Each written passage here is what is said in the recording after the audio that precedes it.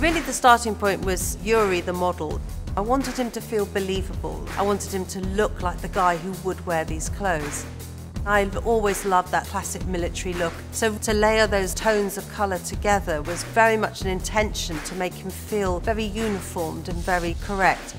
Military, khaki, fatigue, that's something that's a mainstay in fashion now.